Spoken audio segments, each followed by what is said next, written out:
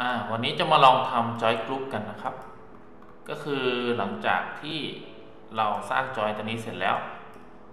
นะผมจะ Copy ไปใส่จุดอื่น โดยที่เวลาแก้ไขก็ให้มันแก้แก้ไขด้วยกันตัวนี้ก็เลือกจอยนี้ แล้วก็คลิกขวา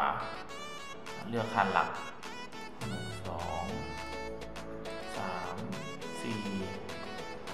ขวาเลือกคันรองหนึ่งสองสามสี่คลิกขวา โอเค ได้ละรวดเร็วทีนี้ถ้าเราแก้ตัวจอยหลักใช่ไหมเช่นเอาจำนวนโบลเห็นชัดดีนะครับอ่าเห็นไหมครับ อัปเดตหมดเลย นี่จะอัปเดตหมด กลับคืนนะครับสามโอ้โห